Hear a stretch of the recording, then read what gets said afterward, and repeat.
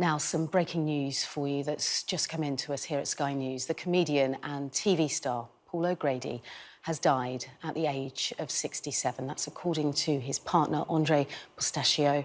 Now, the Brit personality made a name for himself in comedy, in television, and later on in his career for his love of dogs. Now, Mr. O'Grady's cause of death is yet to be confirmed.